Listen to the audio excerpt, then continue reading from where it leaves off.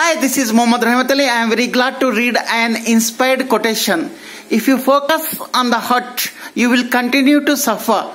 If you focus on the lesson, you will continue to grow.